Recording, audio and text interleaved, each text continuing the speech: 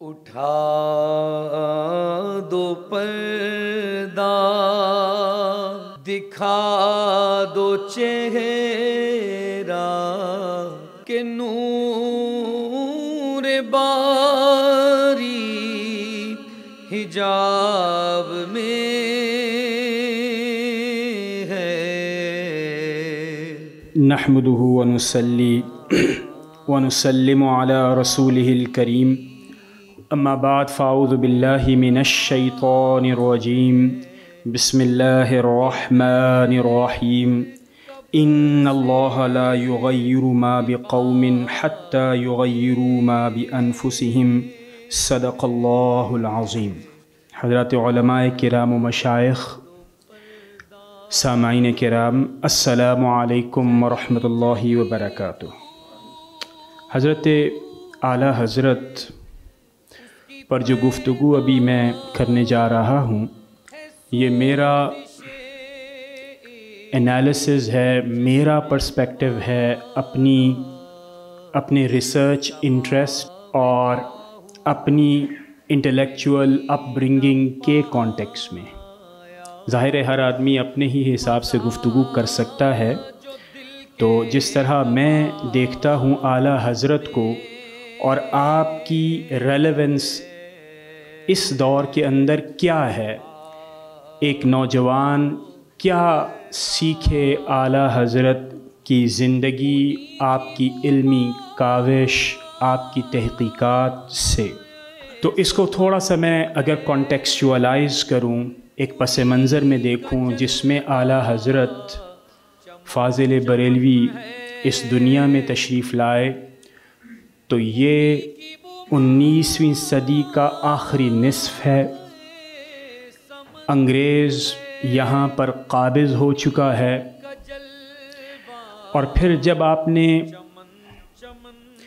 फतवा नवीसी के कमाल को पहुँचे तो बीसवीं सदी का आगाज़ है और मुसलमानों की वहदत की एक अलामत जो बाकी रह गई थी खिलाफत उस्मानिया वो रूबा जवाल है और उसमें मुसलमान उम्मत की वहदत को मलहूज ख़ातिर रखते हुए और जिस मायूसी के दौर में पूरी उम्मत मुस्लिमा बिलूम बिलखसूस बर सग़ीर के मुसलमान जिन परेशानियों का शिकार थे, जिन उलझनों का शिकार थे और जिस तरह उनके अकायद, उनके नज़रियात पर हर सतह जिहत से हमले हो रहे थे, वहाँ उस पस मंज़र में देखते हुए अगर हम आला हज़रत की इल्मी तहकीकी ख़दमात का जायज़ा लें तो वो हमारे लिए मशल राह होंगे आज के मौजूदा मशाइ फ़ुकहा के लिए।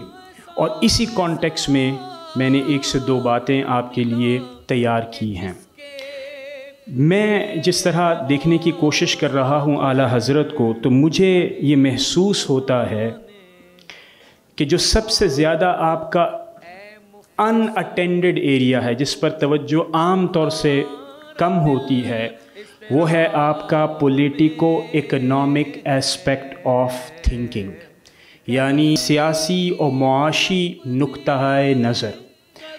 और उसमें अगर हमें गौर करें तो हमें बहुत सी बातें सीखने को मिलती हैं और बहुत सी ऐसी चीज़ें हैं जिसमें हम अपने मुस्तबिल का तयन कर सकते हैं। इस हवाले से मैं पहली बात तो ये कहना चाहूँगा कि फ़तवा और किस तरह आला हज़रत ने फ़तवा को देखा।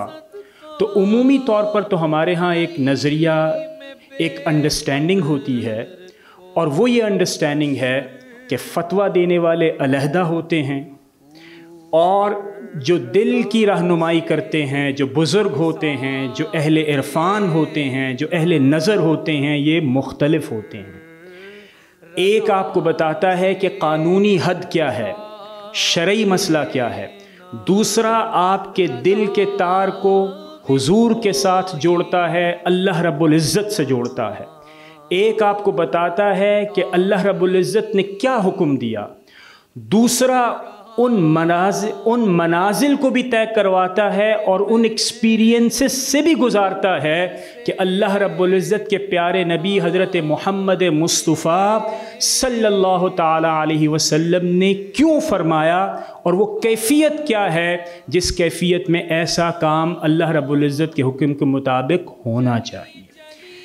ये बज़ाहिर दो मुख्तलफ़ धारे आला हज़रत के अंदर आकर मिल जाते हैं।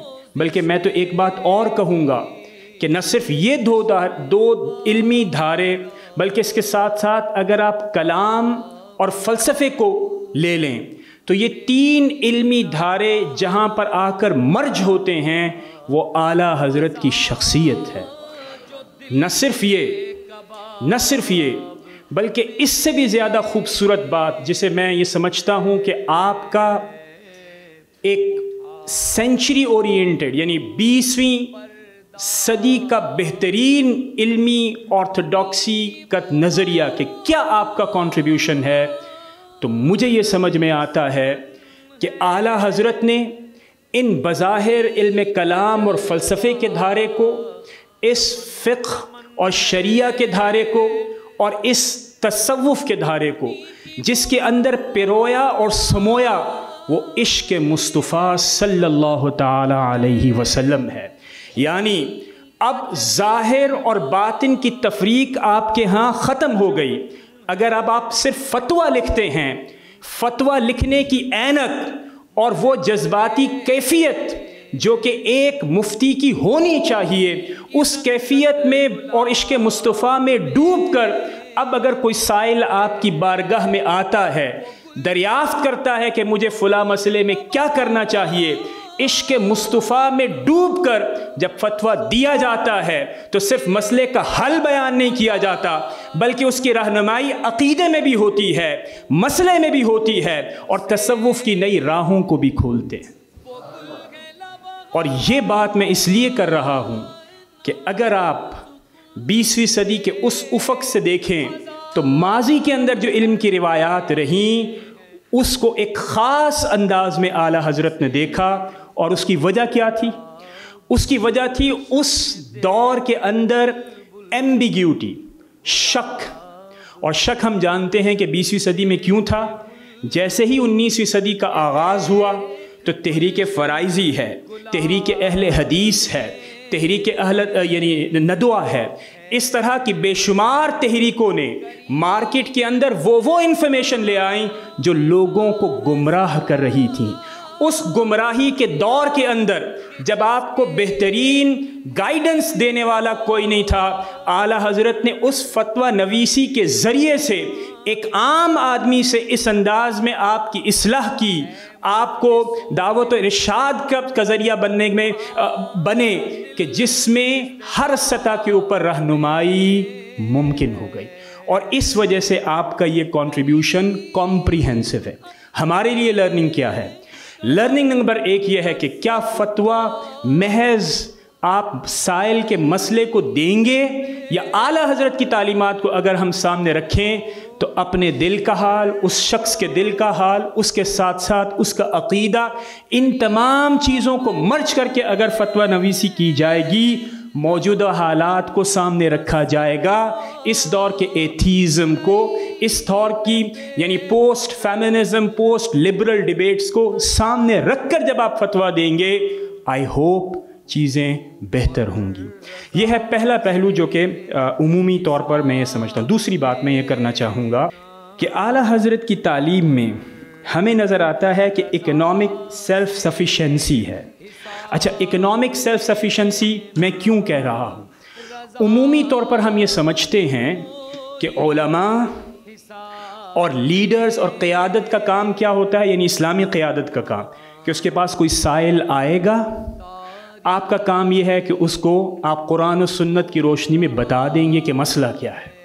लेकिन आला हज़रत, आप देखिए, आला हज़रत ने उस ज़माने के अंदर, आप सरप्राइज़ होंगे कि बीसवीं सदी का बिल्कुल आगाज़ है, कम व बेश 1905 या 6 का ज़माना है। आप अपने दूसरे सफ़र हज पर मौजूद हैं और वहाँ पर मक्तुलमकरमा के अंदर मौजूद हैं। आपकी ग्लोबल रिलेशनशिप देखिए आपका सेंस ऑफ़ कॉस्मोपॉलिटनिज्म देखिए कि मक्का, जो कि सल्तनत उस्मानिया में शरीफ की ज़िम्मेदारी है, वहाँ पर फ्लड ऑफ़ इंफॉर्मेशन ये है कि हर एक तबके का जी चाहता है कि उसके ख़यालात वहाँ पर डोमिनेट करें। जो फतवा आए, वो उन्हीं की तालीमात की रोशनी में हो। आला हज़रत ने राइट फ्रॉम 1890 1890 से लेकर मक्का के ओलमा के साथ इतनी ज़बरदस्त रिलेशनशिप बिल्डअप की हुई थी कि जब आप दूसरी बार वहाँ पर तशरीफ़ लेकर जा गए तो ज़बरदस्त रिसेप्शन हुआ। अच्छा रिसेप्शन हुआ। इससे आगे वाली बात इससे ज़्यादा कमाल की है। और वो ये है कि आपसे सवालात पूछे गए, और वो सवालात थे किस हवाले से? पेपर करेंसी के हवाले से। अब ये जो पेपर करेंसी के हवाले से सवाल है ये तो आज हम 21वीं सदी में बैठकर हम अगर ये फतवा कहीं पर भिजवाएँ तो बाज़ या कई लोगों की, या मैं ये कहूँगा कि मदारस की जो एग्जिस्टिंग इंटेलेक्चुअल कैपेसिटी है, कई लोग मुख्तलिफ़ किस्म की उलझनों का शिकार होते हुए नज़र आएँगे।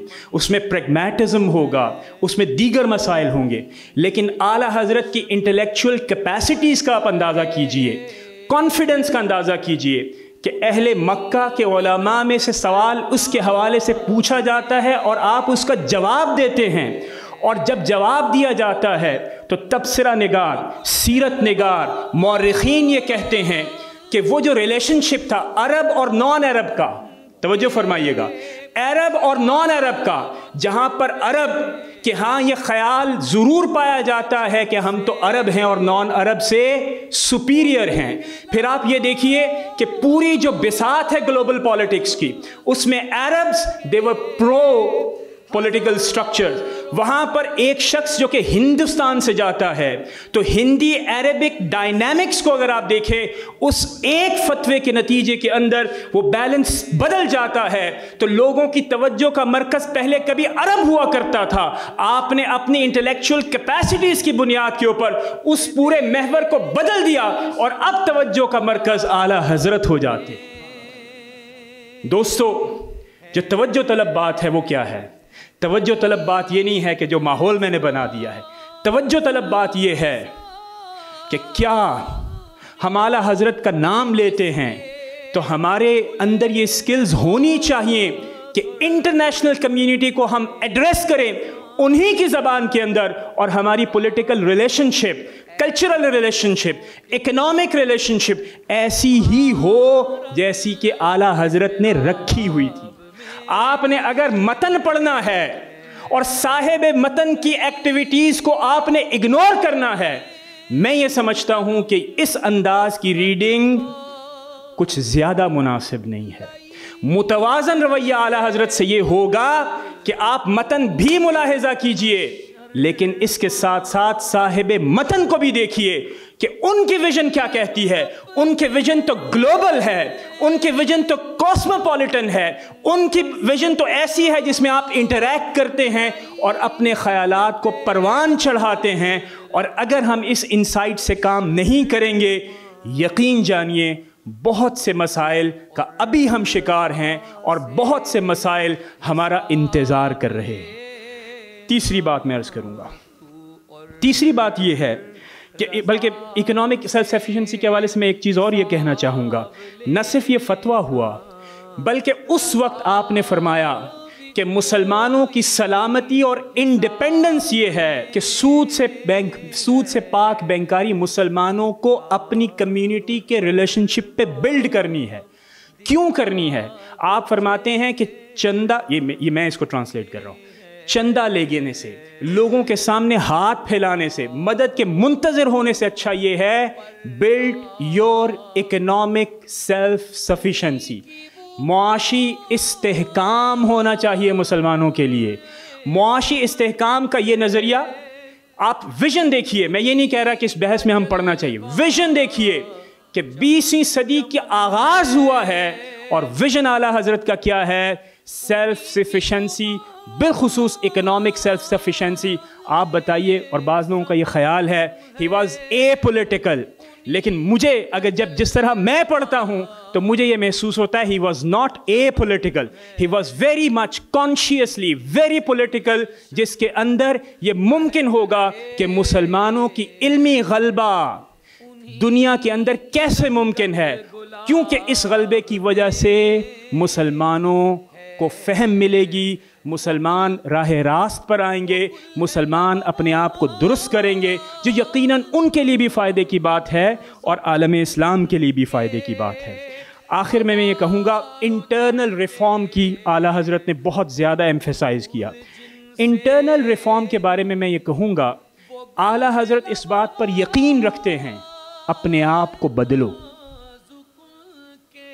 सिर्फ़ ऐसा लेंस इस्तेमाल ना करो जो दूसरों के ऊपर आए। अपने आप को बदलो। अब अपने आप को बदलने से मुराद क्या है? बदलने से मुराद एक प्रैक्टिस तो आला हज़रत फतवे के अंदर दी कि मोहब्बत के अंदर भीगा हुआ फतवा होना चाहिए। इश्क मुस्तफ़ा के अंदर भीगा हुआ फतवा होना चाहिए तो वह फतवा होगा। ठीक है? दूसरी रिफॉर्म आप ये बताते हैं कि इंटरनल चेंज क्या करो? अपने इंस्टीट्यूशंस को मज़बूत करो।